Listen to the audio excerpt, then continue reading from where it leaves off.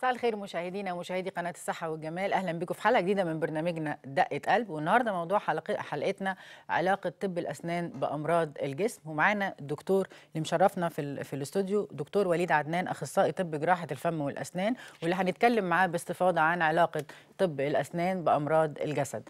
أهلا بيك يا دكتور أهلاً منورنا. أهلاً كل سنة. وحضرتك طيب. طيب النهارده موضوع حلقتنا عن علاقة طب الأسنان بصحة الجسم. عايزين نعرف باستفاضة عن الموضوع ده. يعني بسم الله الرحمن الرحيم. أول حاجة عايزين نوضح نقطة مهمة وهي إنه المريض لما بيدخل لدكتور الأسنان مم. دكتور الأسنان ما بياخدش بقه بره يصلحه ويرجعه تاني. تمام. مهم جدا نعرف إن الفم والأسنان جزء من منظومة كاملة في الجسم. ناس كتير مش واخدة بالها من القصة دي. مم. فبالتالي بتتأثر وتؤثر. بتأثر في الجسم وبتتأثر بيه. وأي مريض بيدخل عيادة أسنان ممكن يكون عنده أمراض مهمة لازم طبيب الأسنان يسأل عنها وياخد باله منها. ويعرف إزاي يتعامل معاها. وإحنا عايزين ننمي الوعي ده عند المرضى لأنه بعض الأطباء للأسف ما بياخدوش بالهم وما بيسألوش. وبتكون لده نتائج سيئة فلازم المريض ينبه الطبيب أحيانا إنه عنده كذا أو كذا أو كذا بحيث إنه الطبيب يبدأ ياخد الاحتياطات الكافية لأي أمر. تمام. طبعا الأمراض المهمة جدا في الموضوع ده واللي ممكن يكون لها دخل بالأسنان. على رأسها طبعا مرض السكر اللي هو ارتفاع نسبة السكر في الدم. وفي أمراض القلب طبعا بأنواعها اللي هي قصور في الشريان التاجي أو الجلطات أو الحمى الروماتيزميه. وما يتسبب فيها من تلف في الصمامات أو كده الحاجات دي برضو ليها تعاملات خاصة زيادة الإفراز في الغدد زي الغدة الدرقية أو التاثير على آه، الغدة الكظريه اللي آه، بتطلع آه، ال- ال- الهرمون اللي هو يعتبر زي الكورتيزون. وبيتأثر بيه طبعا المريض ولازم طبيب الأسنان ياخد باله جدا من القصص دي بعض أنواع الحساسية اللي لازم الطبيب واخد باله إذا كان عنده حساسية لأدوية معينة. فيتجنبها كمان القصور الكلوي أو الكبدي كل الحاجات دي كلها من الحاجات الامراض الناتجة برضو عن تغيير الدم أكيد طبعا والأنيميا والسيولة وادويه معينة للسيولة يعني فالكلام ده كله مهم جدا. إنه لازم الطبيب يبقى واخد باله منه ويتعامل معاه بحرص شديد. عشان ما يأثرش على المريض تأثير سلبي أثناء ما هو بيعالجه لأن إحنا في شغلنا في عندنا جزء يتعلق بالجراحة في طبعا نزف للدم أحيانا في. كمان جزء يتعلق بالإنفكشن أو العدوى انتقال الأمراض أو البكتيريا اللي ممكن تنزل في الدم وتعمل مشاكل في في المناعة. ففي حاجات كتير أمراض كتير بتأثر على الحاجات دي. فلازم نكون واخدين. وبعدين ال- ال- ال- الفم فيه لثة أنسجة بالظبط. وفي عظم زي عظم الفك. فلو مرض يأثر على العظم هتلاقي الفك متأثر. لو مرض يأثر على الأوعية الدموية هتلاقي الفم متأثر من خلال الأوعية الدموية. الأعصاب. مم. الحاجات دي كلها. فعشان كده طبعا مسألة في غاية الأهمية يعني. يعني يا دكتور أمراض الأسنان ليها تأثير كبير على آه، الجسد؟ بصحة ما الجسد؟ أنا لسه بقول هي فعلا في منظومة متكاملة بين الأسنان والجسم. ومريض السكر لما بيدخل مثلا لطبيب الأسنان مم. هنا وانس إن الدكتور عرف إن في سكر يبقى لازم يتعامل بشكل مختلف عن لو هو هيتعامل عادي. تمام. يبدأ ياخد باله السكر ده عالي بنسبة قد إيه. متظبط ولا لأ؟ المريض ده واكل كويس ولا لأ في اليوم ده؟ واخد الدواء بتاعه ولا لأ؟ يبقى عارف كمان السكر ده بقى له قد إيه مع المريض هل هو جديد ولا من زمان ولو من زمان يبقى في تأثيرات والتأثيرات دي لازم آخد بالي منها. علشان أنا عارف إن مريض السكر ده بدل بقاله سكر عنده السكر عنده بقاله فترة مم. يبقى المناعة بتاعته مش كويسة يبقى التئام الجروح مش كويس. مش كويس. يبقى أنا باخد بالي ممكن أدي مضادات حيوية ممكن أخلي بالي وأنا باخد معلش دكتور بدون مقاطعه. كلامك. حتى كمان لما بيجي يعالجوا بالأدوية لازم يشوف الدواء اللي هو بيتعالج منه من السكر سواء إنسولين أو ال tablets. على على أساسه بيدي الدواء اللي هو بيناسب ال- ال- أكيد الحالة طبعا بتاعته. أكيد. أي ده ال interactions بتاعت الأدوية دي حاجة مهمة جدا. لازم مم. كل دكتور يبقى عارف الدواء اللي بيكتبه وهل ليه تأثير على الحالة الصحية بتاعت المريض ولا لأ. تمام. ممكن ال- ال- المريض يبقى داخل بيشتكي مثلا من التهابات في الأطراف العصبية بالنسبة للسان أو كده. ويكون السبب الرئيسي لده السكر والدكتور لو مش عارف إن ده عنده سكر ممكن يبدأ يدور في يعالجه حاجات تانية خالص. بالظبط فبالتالي هي آه، آه، لازم نبقى عارفين مرض السكر من أهم الحاجات بتأثر على العظم ممكن تسبب تأكل في العظام وتسبب خلخلة في الأسنان ممكن تسبب عدم التئام الجروح لو خلعته وبعدين ما ما خدتش احتياطاتي كويس أو السكر كان عالي جدا ممكن الجرح ما يلمش بسهولة. وبالتالي يتلوث وبعدين يعمل لي مشاكل كبيرة فمريض السكر من أهم المرضى وخصوصا مرض السكر منتشر. أكيد. فطبعا مريض السكر من أهم المرضى اللي بيدخلوا عيادة الأسنان والتعامل مع مريض السكر بيبقى بحرص بحرص. وفي نفس الوقت أنا ضد فكرة إنه مريض السكر ما يتعالجش أو إن أنا أمشيه وأقول له أنت عندك سكر. لا. أكيد طبعا. لازم بكون عارف النسبة قد إيه ولو النسبة معقولة بعمل كنترول وبسيطر لكن وباخد بالي. لو النسبة عالية جدا طبعا بأجله. لغاية لما النسبة تبدأ تتظبط.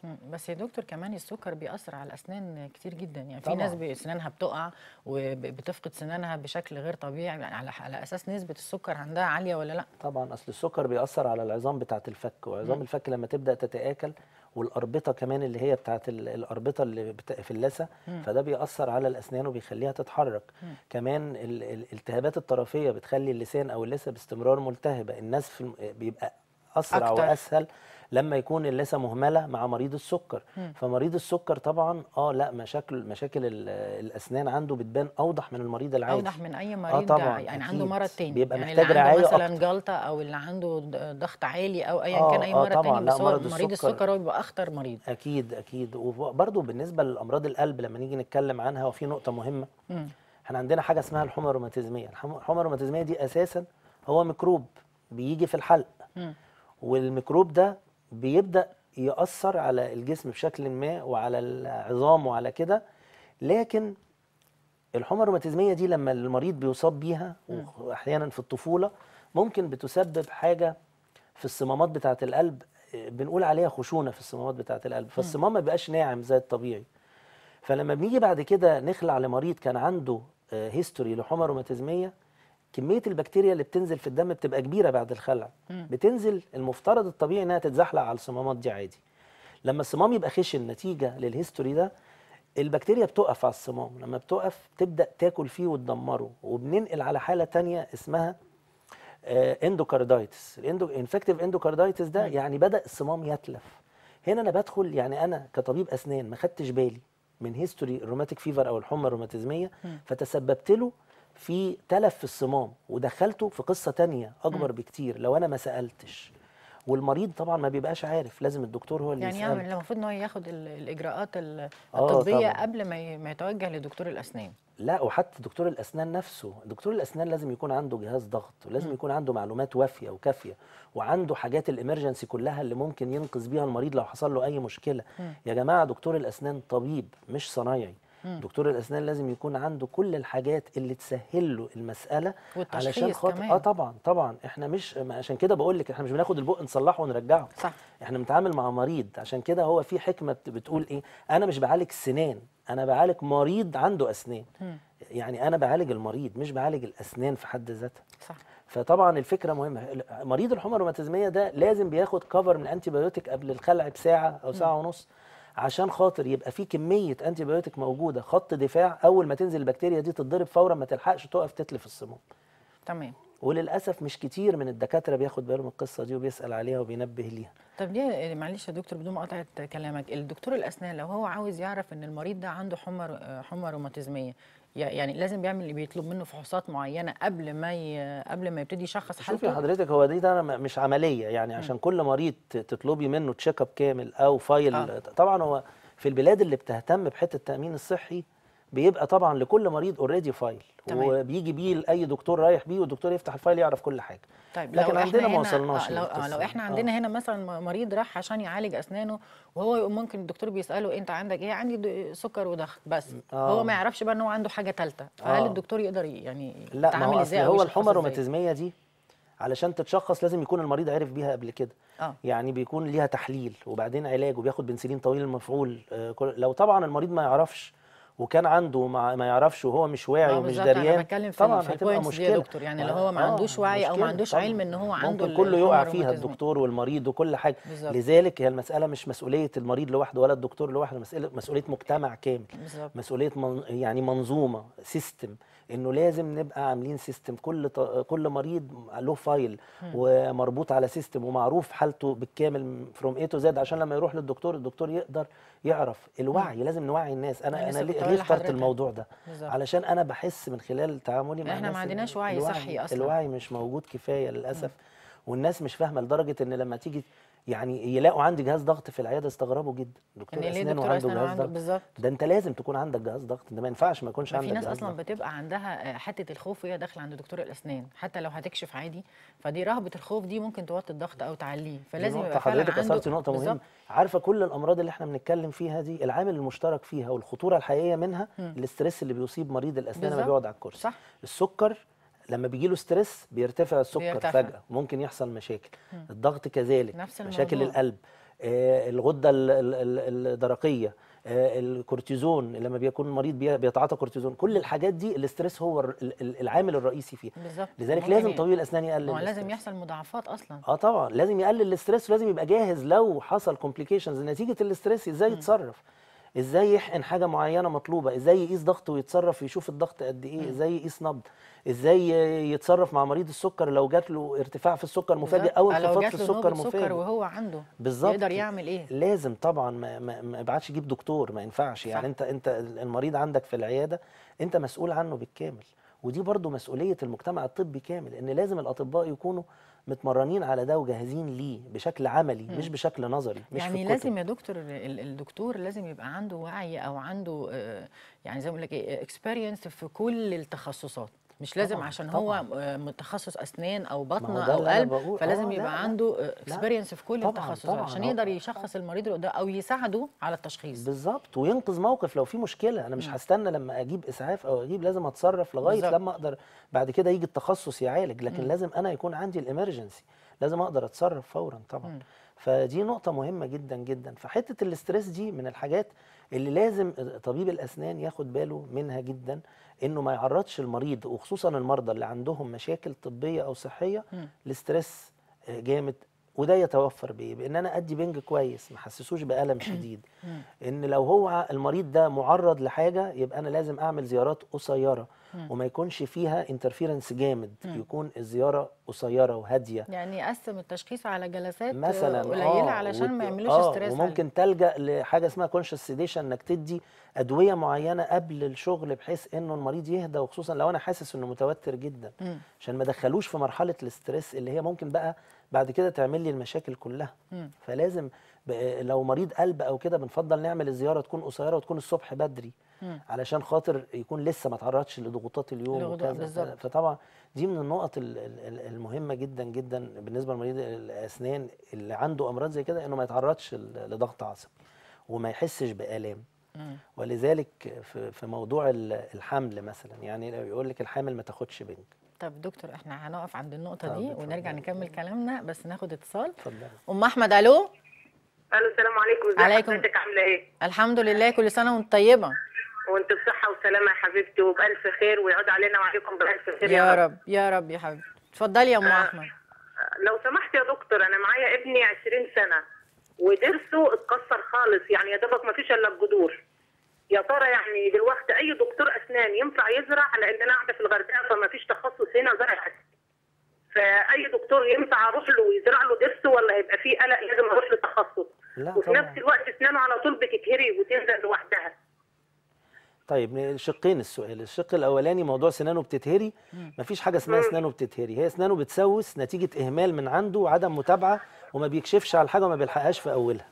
يبقى لازم يلحق الحاجة في أولها لما يكون لسه الضرس لسه فيه بقايا يتنضف السوسة ويتحشي كويس يبقى خلصت القصة وانتهت على كده مش هنستنى لما يتاكل خالص. أما يكونوا اتاكل بقى خلاص يبقى هنا الزرع لازم يكون طبعا طبيب متخصص وفاهم هو بيعمل إيه ويكون ده تخصصه الزراعة ومش أي واحد وهو الطبيب نفسه هو اللي هيقول لك أنا بزرع ولا لأ. ما هو يعني لازم يعني- تخصص زراعة عصب. آه، مش ود- عصب ده ود- زراعة ال- ال- الزراعة اللي هي غرس الأسنان نفسها. هو هيشيل الجدر وهيعمل زرعة جوه العظم ويبدأ يعمل لها ضرس. فده طبعا تخصص والعالم كله دلوقتي بيتجه ناحية التخصص. والزراعة بالذات منها جديدة شوية فطبعا يفضل محتاجة أكيد تخصص. التخصص. آه. طبعا أكيد طيب شكرا ليكي يا أم أحمد.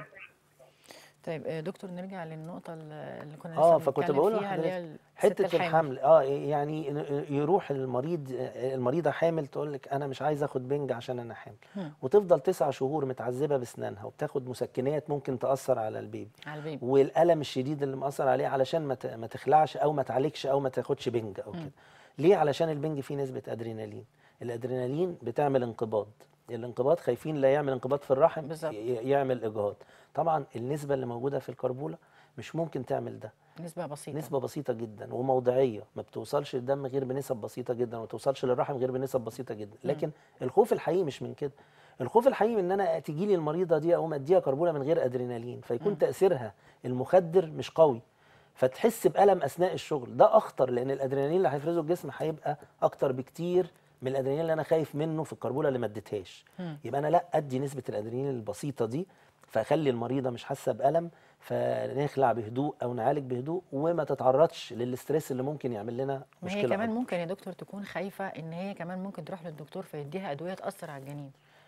هو ده هو- بيرجع للتخصص آه وال- طبعا. ما هو يعني خلي بالك إن الأدوية في الحمل ما بنفضلش نديها غير في أضيق الحدود الموضوع طبعا. بيبقى حساس قوي إن آه هي طبعاً. بتبقى حامل فبتبقى خايفة. حتى آه لما تيجي تاخد. أي مسكنات بتبقى care قوي إن المسكن ده طبعاً. ما يأثرش على ال- على طبعا الطفل. طبعا. فعلا في أدوية معينة بنبعد عنها أثناء الحمل.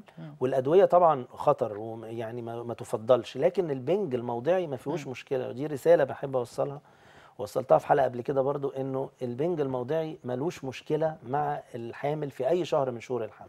تقدر تاخده في أي وقت. بنسبة الأدرينالين العادية اللي فيه ويكون أفضل كمان عشان ما تحسش بألم ما بيأثرش. على ما الجنين أي ولا الرحم ولا أي حاجة. خالص ولا يعمل تشوهات ولا يعمل إجهاض ولا يعمل الكلام اللي كان زمان الناس بتقوله. بالظبط. ودلوقتي لغاية دلوقتي بعض دكاترة النساء بتقوله وهي دي ما فعلا يا دكتور لحد دلوقتي آه. لسه بيقولوا إن هو وبيجوا بقى مش مصدقيننا إحنا نقول لهم ما تخافوش ما فيش حاجة. لا دكتور ما النساء هي قال حتة الثقة برضه يا دكتور هي دي أهم حاجة. آه طبعاً. الثقة والوعي الصحي ده اللي لازم يوصل بالظبط، للمريض قبل بالظبط. ما يوصل لأي حد تاني تمام تمام تمام. طيب دكتور هنقف عند النقطة دي وناخد اتصال. أستاذة ماجدة ألو؟ السلام عليكم. عليكم السلام ورحمة الله وبركاته. ممكن أكلم الدكتور بعد إذنك؟ آه اتفضلي الدكتور معاكي.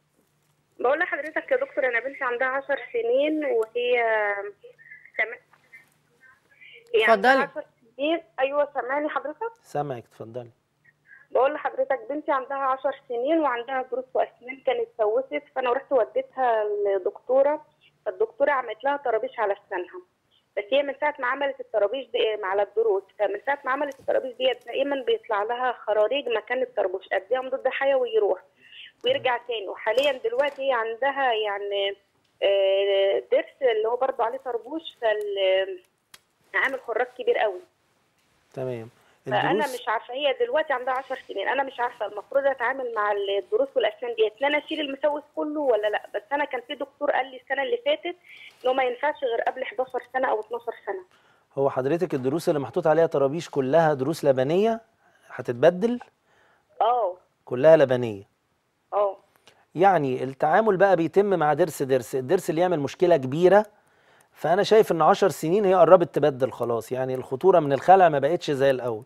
فإحنا ممكن لو الموضوع كبير والمضاد الحيوي مش مؤثر والعملية صعبة وعاملة لها مشاكل كتير نخلع.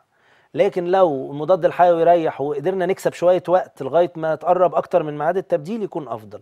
فده بيتوقف على حالة الضرس لو بايظ خالص وتعبان قوي ممكن نخلع من غير خوف قوي. 10 سنين غير 8 و7 يعني خلاص قربت تبدل. فما فيش خوف كبير من الخلع في المرحلة دي. خلاص ماشي. طب ممكن أسأل حضرتك سؤال تاني بعد إذنك؟ اتفضلي. آه أنا عندي ابني برضو عنده خمس آه ست سنين بس عنده ضرس بيسوس دوت أروح أحشيه ولا أعمل فيه إيه؟ طبعاً. المفروض الصح ليه إيه؟ طبعا طبعا. لازم يتحشي بسرعة. يتحشي ولا يتشال. لا يتحشي. طبعا. ست سنين يعني لسه قدامه على ما يبدل كمان خمس سنين. الضرس ده لو اتشال في المرحلة دي الفراغ ده هتبدأ الضروس اللي من هنا ومن هنا تميل تقفل المكان يجي الضرس الجديد يطلع ما يلاقيش مكان يطلع. يطلع في أي حتة يخبط في واحد تاني يفركش الدنيا نحتاج تقويم. يعني هي تعالجه.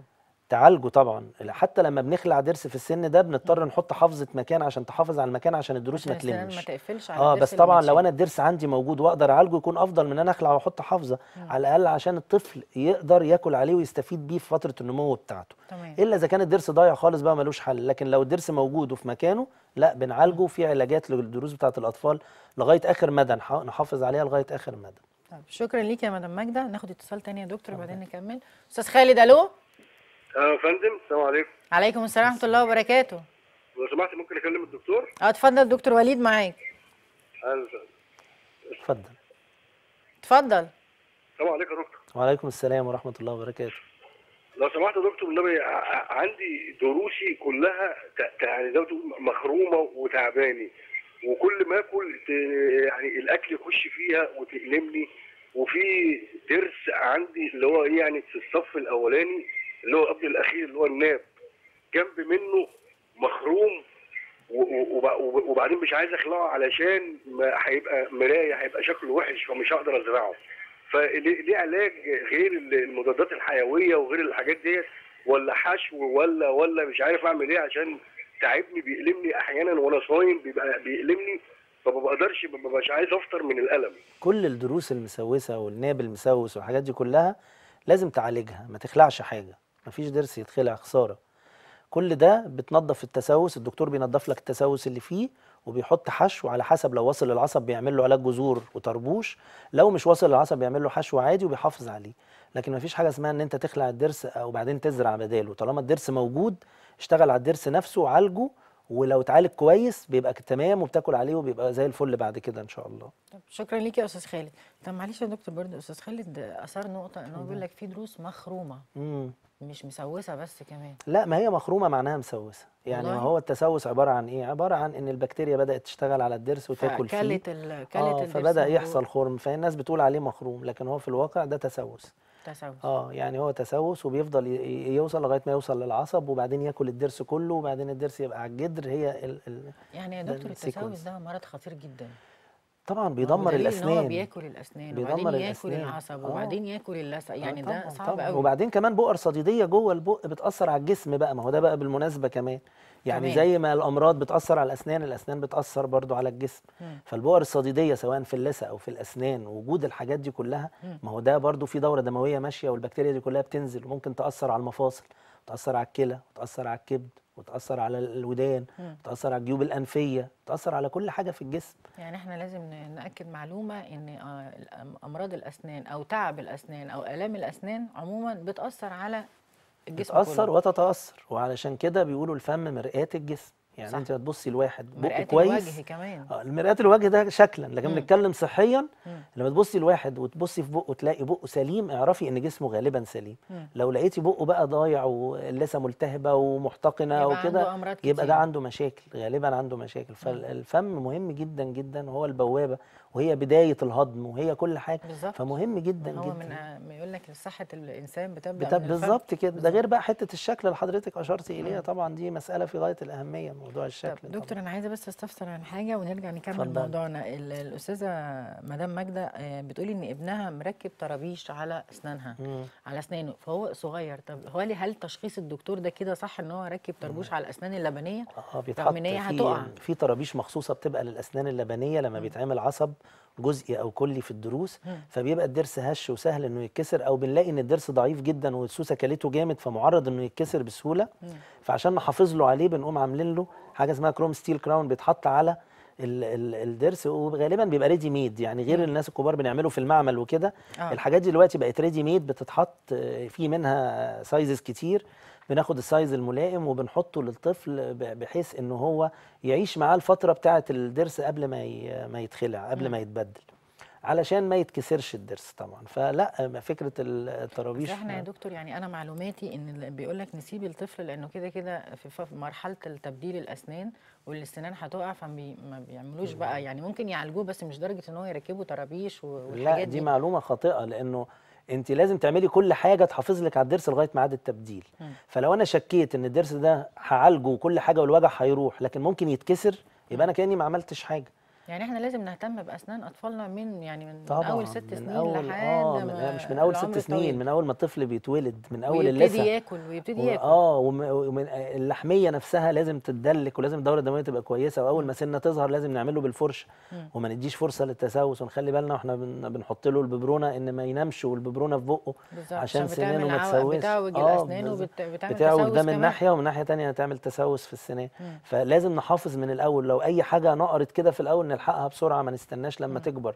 وطبعا دي برضو حاجة برضه يا دكتور هنرجع ونقول إن ده عشان ما فيش وعي صحي. خالص طبعا خالص. يعني الناس ده راجع أغلبها إن ما فيش وعي صحي آه، ان كل آه. أم فاكرة إن هي لحد ما ابنها يوصل لست سنين ولا حاجة ممكن تبتدي تعالج وممكن ما تعالجش عشان هو في. مرحلة التبديل الأسنان. ويبقى الطفل بياكل شيبسيات وبياكل سناكس وكده ولا فرشة. ولا ما بالظبط، ما فيش. ما فيش أي إشراف من أي نوع. فدي طبعا نقطة برضو في منتهى الأهمية. طيب دكتور هنقف عند النقطة دي وناخد اتصال. مدام كوثر ألو؟ ألو؟ أيوه. أيوه اتفضلي. أيوه لو سمحت آه، ممكن أكلم الدكتور؟ اتفضلي الدكتور معاكي.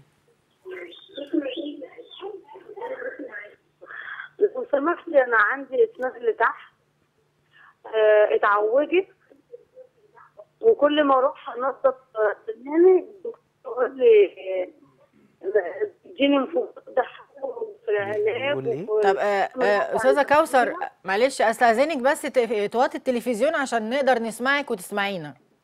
وطيت وطيت طب شكرا ليكي. حاولي تكلمينا تاني. طيب آه، دكتور نرجع برضو لبرضو الأمراض المتعلقة بالأسنان وارتباطها بصحة الجسم. تمام. فإحنا قلنا الأمراض اللي تتعلق بالقلب طبعا وطبعا ضغط الدم من الحاجات المهمة جدا. لازم دكتور الأسنان يبقى عنده جهاز ضغط. أنا بناشد من هنا إن دكتور الأسنان يبقى عنده جهاز ضغط. يا ريت. ده أضعف يعني. أنا بناشد مع حضرتك من برنامجنا إن إن كل دكتور يعني أسنان يبقى آه عنده طبعاً. يعني, يعني- جهاز ضغط وجهاز سكر يبقى عنده وعي يعني صحي متكامل للمريض جداً. قبل ما يبتدي يشخص حالته. بالظبط. أنا عندي المريض بتاع الضغط آه، فوق ال 140 على 90 ده مريض ضغط. ولازم أبدأ أخد بالي وأنا بتعامل معاه. لو طبعا معدي بقى فوق ال 200 فوق يبقى أنا إيه مش هتعامل معاه أنا هأجله وأقول له ظبط ضغطك وارجع لي لكن لغاية هو رينج اللي هو لسه أقل من 200 فوق وأقل من من 110 تحت إحنا بنقدر نتعامل معاه. بس بنتعامل معاه بحرص شديد جدا جدا. اولا ما بعرضوش لأي stress من أي نوع. وببقى مجهز معايا جهاز الضغط عشان لو حسيت الأول بقيس له الضغط قبل ما أشتغل. ولو هو بياخد دواء ضغط بقول له خد دواء الضغط وتعالى وظبط الدنيا. و بحيث إن أنا ما اعرضوش لأنه يجي له crisis وأنا بشتغل معاه أو ضغطه يعلى فجأة نتيجة ال stress والقلق أبص ألاقي وهو على الكرسي حصل له أي مشكلة من أي نوع. فمريض الضغط مهم قوي إن إحنا نتعامل معاه بحرص شديد جدا. برضو من الحاجات التانية اللي أنا عايز أنبه ليها المريض اللي بياخد كورتيزون بقاله مدة طويلة. مم. لأنه مريض الكورتيزون ده بيبقى عنده مشكلة إنه الغدة اللي بتفرز الأدرينالين اللي هو مسؤول عن آه، التعامل مع ال stress الغدة دي بتبقى suppressed يعني ما بتبقاش شغالة كويس فلو هو اتعرض ل stress زيادة زي اللي بيحصل عند دكتور الأسنان مم. ممكن يحصل له حاجة اسمها adrenal crisis أو تبص تلاقي إنه فجأة الأدرينالين اللي موجود ما بقاش كفاية ويحصل كوما. نسبته قلت. آه ويحصل كوما والطبيب بيتفاجئ بموقف زي كده. لازم طبعا يكون عندنا الاستعداد إزاي نتعامل في حالة زي كده لو المريض جراله كده. لكن من الأول أنا أحاول أتجنب ده. يعني أنا عارف لازم أعرف المريض ده بياخد كورتيزون بقاله فترة يبقى لأ أخلي بالي. ده معناه إن الغدة عنده مش شغالة كويس. يبقى ما عرضوش ل stress خالص. ممكن إن أنا أبقى آه، مجهز له ال- الحاجة اللي تعوض نسبة الأدرينالين دي لو حصل أي مشكلة إيه، ممكن أجل العلاج خالص. لو حسيت إن إن ال suppression ده كبير وإن ممكن يعرض ان المريض ده stressful جدا وقلقان جدا ممكن أجل- أجل أجل آه العلاج ممكن شوية. أجل وندي آه، بالتعاون مع الطبيب ال- المختص آه، نسب أعلى شوية من الكورتيزون عشان نخليه جاهز إن. هو لل stress اللي ممكن يتعرض له فدي برضو من الحاجات. وبرضو الغدة الدرقية. طب دكتور هنقف عند الغدة. الدرقية بس وناخد اتصال. أستاذ جابر ألو؟ السلام عليكم. عليكم السلام ورحمة الله وبركاته. حضرتك أنا آه، ممكن اكلم الدكتور آه حضرتك اتفضل دكتور وليد معاك. أستاذ جابر آه، أستاذ وليد. أهلا بيك. آه، حضرتك أنا عندي آه، بنت صغيرة عندها خمس سنين وديتها للدكتور عندها ضرس ضرس وجعها يعني كده فتاني الدكتوره قالت لي ما ينفعش نتقلع في الوقت الحالي. تمام. وعندي حضرتك ضرس لازم أنا أجيب دم لازم أنا أخليه يشر دم عشان يرتاح من ده من عندك الألم بتاعه. عندك عندك ضرس إيه يا أستاذ جابر؟ ضرس لازم أنا يخلي أجيب أعمل دم من تحت اللثه حضرتك عشان يرتاح من ارتاح من ارتاح من الألم بتاعه حضرتك تمام. طب بالنسبة للطفلة طبعا آه ما تخلعش الضرس ويتعالج يتعالج يتحشي أو يتعمل له عصب أو كده لغاية لما آه، شكراً ليك يا جابر. يجي ميعاد التبديل بتاعها مم. أما بالنسبة لحضرتك فده غالبا حتة بقى إن هو يقعد يلعب في الضرس آه لغاية ما بيقعد يجيب دم يلعب لحد ما يجيب دم آه، عشان يرتاح. دي غالبا فاهم إن دي اللثة. اللثة طبعا عنده ملتهبة واضح إن فيها جيوب. بالظبط. والجيوب دي بتبقى جواها بكتيريا والإحساس بتاع إن هو نفسه يدخل حاجة عشان آه، يرتاح ده. بالظبط. ده معروف وده بيبقى محتاج حاجة اسمها إزالة جيوب إزالة جراحية دي للجيوب. علاج الجيوب بقى يا دكتور. آه علاج جيوب علاج اللثه جيوب اللثة. آه إن إحنا بندي بنج وبنكحت الجيب كويس جدا من جوه بنحط مادة جوه. الجيب ده المادة دي تساعد على الالتئام وتهدي وت... وت... وتحاول إن هي تعمل regeneration للأنسجة مرة تانية عشان الدنيا تتظبط. واللي هتلاقيه كده هو ضرس معين لكن هتلاقي بقية ضروسه كمان فيها المشكلة بس ما بانتش بنفس كلها القدر عليه. يعني طبعا ده بيبقى ممكن بسبب يكون الضروس دي اتعادت من الضرس اللي هو أصلا عنده جيوب هي؟ طبعا حتة العدوى واردة. لأنه أصلا لما بيبدأ في مكان ممكن تنقل لمكان تاني لكن كمان يعني هو هو بيقعد يدعك آه. بالفرشة. يعني لحد ما يوصل لا هو ما. بيدعكش بالفرشة هو كان بيدعك بالفرشة ما كانش حصل ما كانش. حصل له الإصابة هو طبعا واضح إن. هو ما بيستخدمش الفرشة بانتظام فحصل جير والجير بعد كده قلب على جيوب. علاوة على ناحية العصبية ال stress ال stress من الحاجات المهمة جدا كسبب لوجود الجيوب في اللثة ويمكن ناس يعني دي كتير ما تعرفش المعلومة دي. آه طبعا. يعني لو شخص عصبي ممكن آه. يصاب بجيوب اللثه آه طبعا. ده غالبا غالبا الشخص اللي بنلاقي عنده جيوب لثة كتير غالبا بيبقى شخص عصبي جدا. ال stress بيعمل حاجتين حاجة موضعية وحاجة آه، في آه، آه، كيماوية. الحاجة الكيماوية إنه ال stress وشدة العضلات دي بتفرز مادة المادة دي بتاكل في الأنسجة بتاعه الجيوب بتاعه اللثة وبتعمل جيوب. وحاجة اللي هو إن هو بيبقى دايس على أسنانه باستمرار والدوس على السنان دي بتأثر على الأربطة وب- وبتأثر على العظم وبتبدأ تعمل تآكل ويحصل برضو جيوب. فال stress ليه علاقة كبيرة بموضوع الجيوب اللي في دي اللثة. معلومة برضو جديدة يا دكتور أول مرة نعرفها إن جيوب اللثة ليها علاقة ليها علاقة. وطيده يعني آه طبعا طيب. ناخد اتصال يا دكتور. أستاذ محمد ألو؟ السلام عليكم. عليكم السلام ورحمة الله وبركاته. ممكن كلمة الدكتور؟ لو سمحت. آه اتفضل الدكتور معاك. السلام عليكم. وعليكم السلام ورحمة الله وبركاته. معي طفلة دكتور عندها ثلاث سنين. معلش آه، أستاذ محمد آه، ممكن توضح صوت حضرتك شوية؟ معي طفلة بنت عندها ثلاث سنين يعني. طفلة؟ عندك تبقى طفل عندها ثلاث سنين. أيوه. تمام. وسنانها اتكسروا خالص. اسنانها اتكسروا. خالص. دروسها وديتها الدكتور النهارده قال لي ما ينفعش في صغيرة تمام. تمام. فقال لي ممكن نحشيها بس برضك مش هتستحمل الحشو يعني. زي الحل دلوقتي. لا تستحمل الحشو إن شاء الله ويتعمل لها طرابيش زي ما كنا بنتكلم مع الأستاذة من شوية.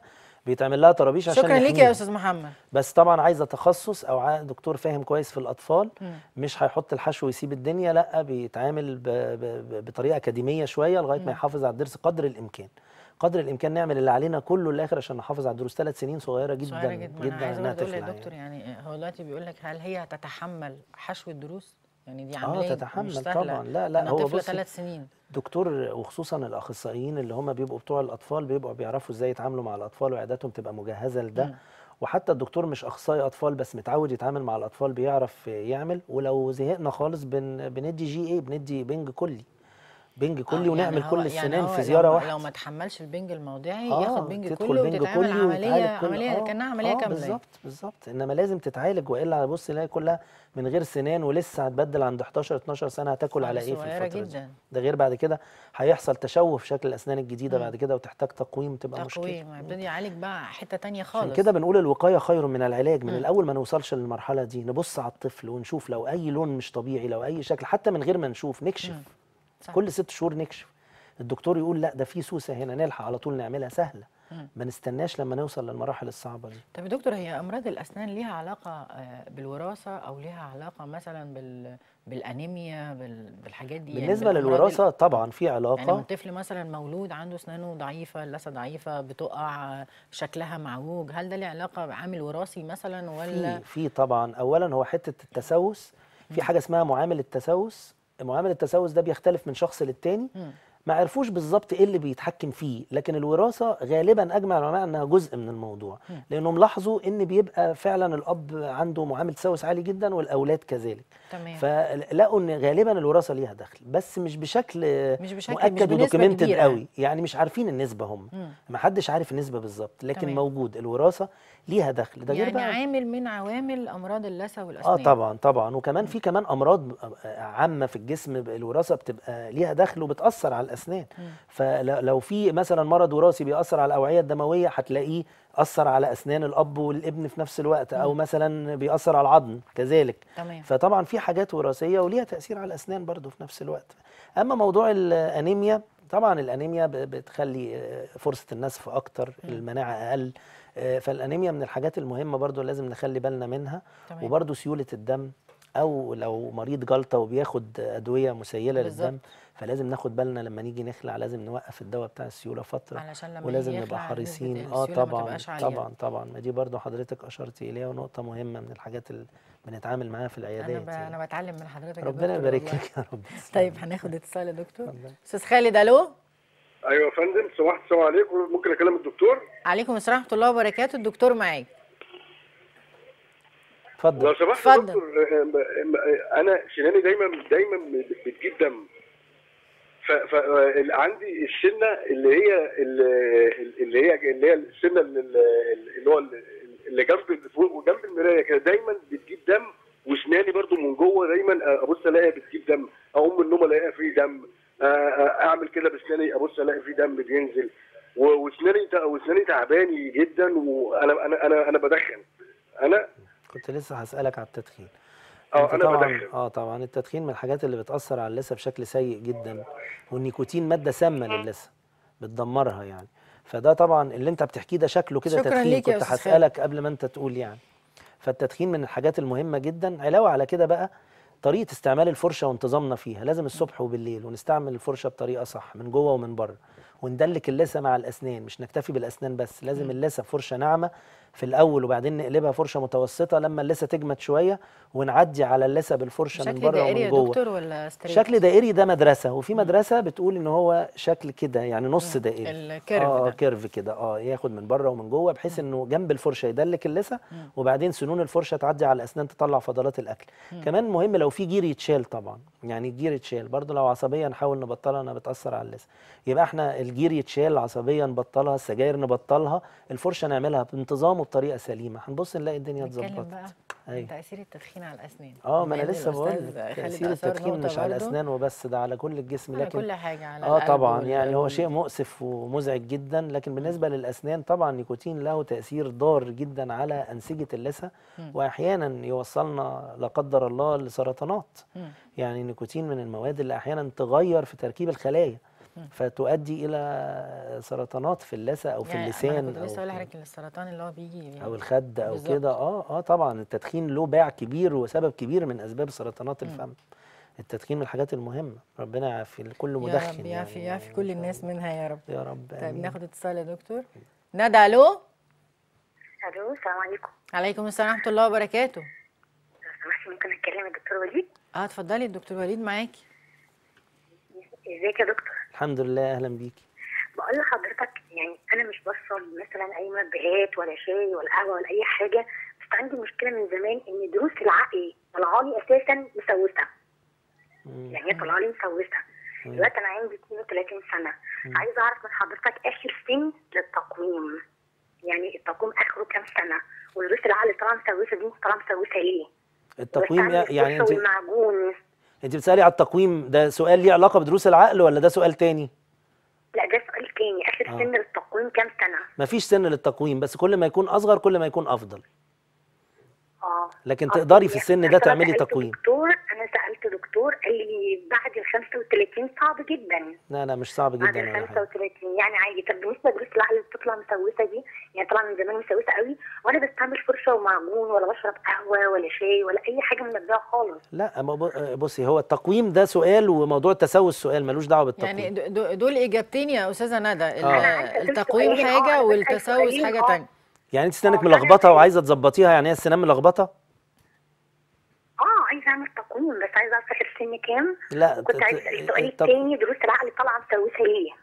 طيب دروس العقل طالعة في مكانها وكبيرة وواضحة وفي البق وموجودة في مكانها ولا معوجة أو مش واضحة أو مش ظاهرة؟ لا موجودة وفي مكانها بس هي أساسا من يوم ما طلعت كانت بتطلع مسوسه طيب زيهم زي أي ضرس يتحشوا عادي إيه المشكلة؟ طب حضرتك إيه السبب؟ يعني إيه السبب؟ أنا لا مفيش سبب. السبب إن هم بعيد شوية. هم بعيد في البق شوية فأنت ممكن تكوني وأنت بتغسلي أسنانك ما بتوصل لهمش كويس. فكانوا أكثر عرضة من غيرهم للتسوس بس مش أكتر. لكن بغض النظر عن السبب المهم تعالجيهم.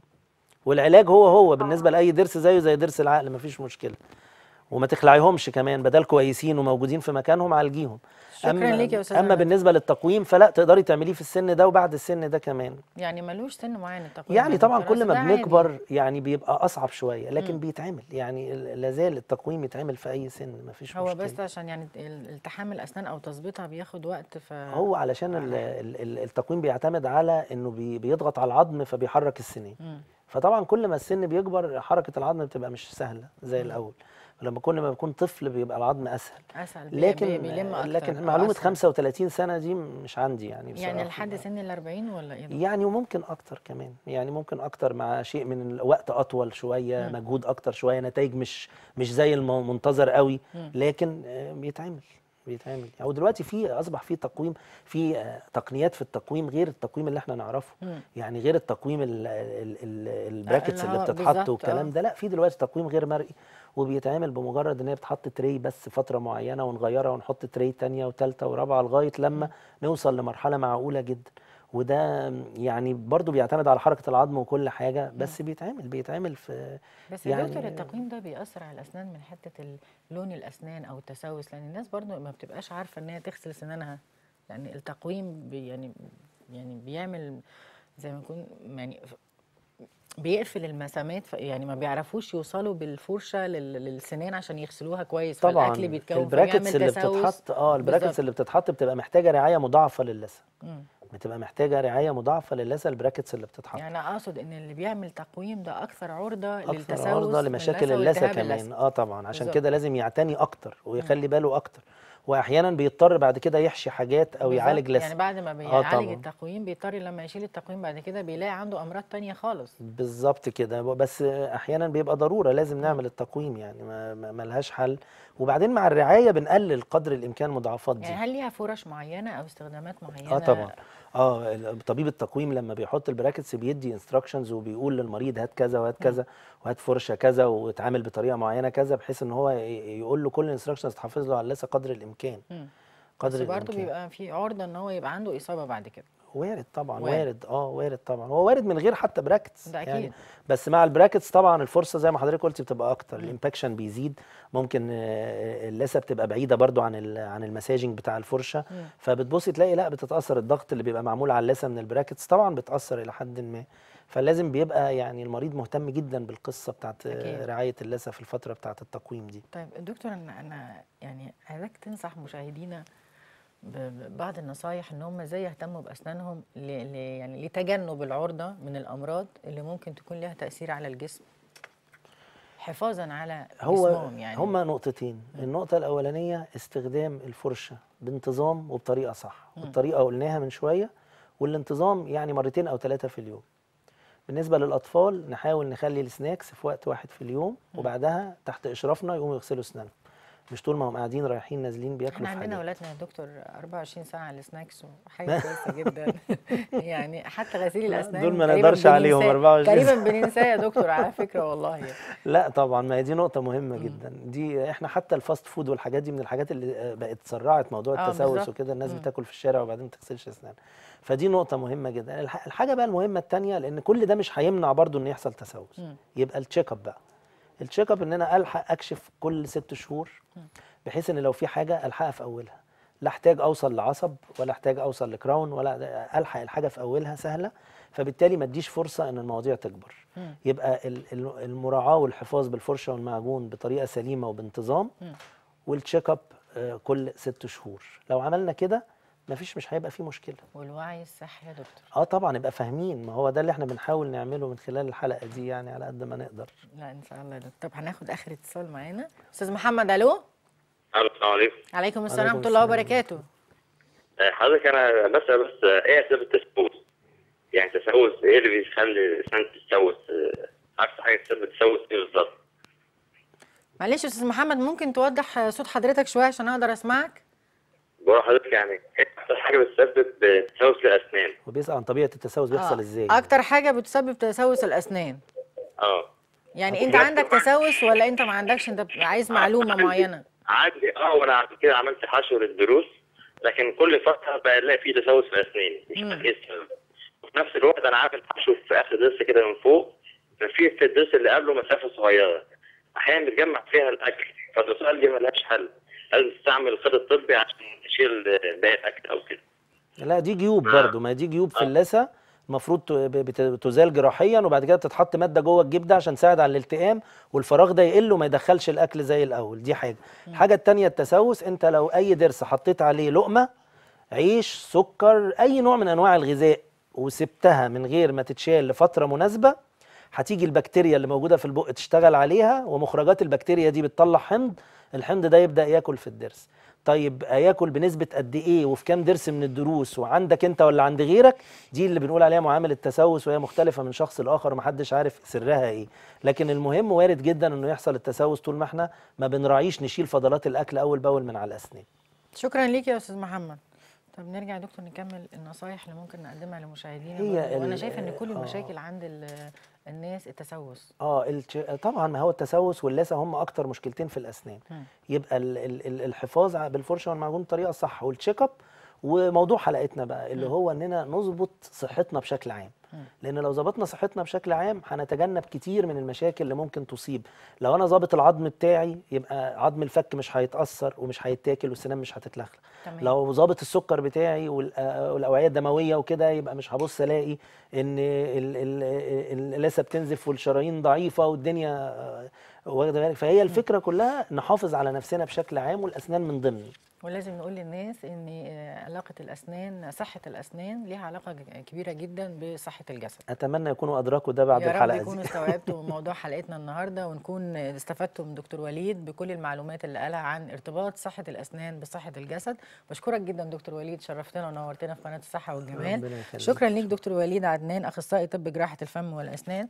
بشكركم مشاهدينا بشكر كل زملائي في الكنترول والاستوديو بشكر مخرجنا الجميل محمد سمير وبشكركم وأشوفكم على خير.